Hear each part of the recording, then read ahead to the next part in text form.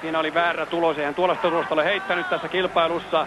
Korkealle lähtee ja menee yli 80 metriä ja niinkö käy, että Laukkanen siirtyy GS-kilpailun johtoon. Ja mitä siellä oikein tapahtuukaan? Tuleeko se, tuleeko se rintaa vai käsi varteen? Hurjan näköinen tilanne.